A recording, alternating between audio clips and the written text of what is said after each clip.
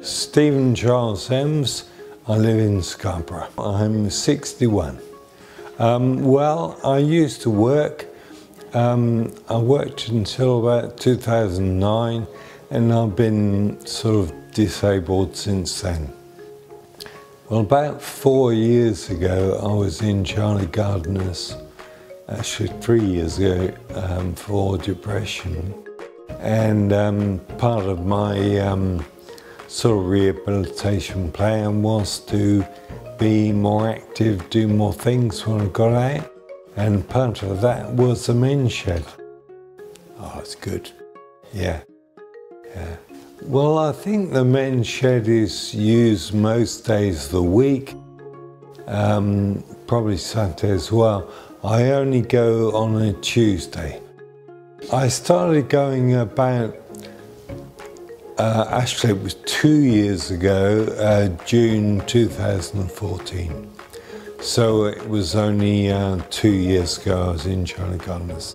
When I first went there, I was in a um, pretty bad way. I mean, um, and um, now um, I still enjoy going. I obviously, can't use the machinery or don't use the machinery because my balance is so bad, you know, but um, I just go there to talk, meet some people, um, see what they're making, and um, use the computers.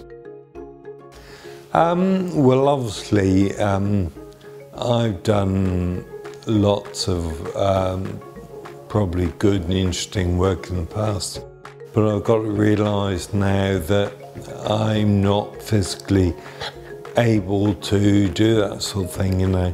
In fact, I'm on a, a disability pension now. Um, but um, yeah, I mean, I suppose it took a bit of getting used to at first, you know, but um, uh, that's the way it is.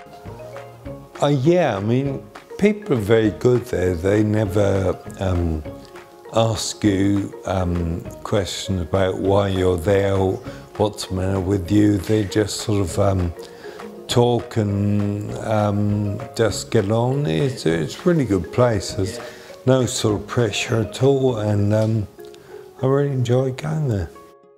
To be honest, I didn't know a lot about men's sheds before I went, and um, I was absolutely amazed when I went there at how big and well equipped it is because it's um, it really is a very good facility. I mean, I think the great thing about it for me is um, you get to talk to loads of people who are very friendly and um, yeah, it's, it's, um, it's good. And we go on trips as well and um, yeah, it's good fun.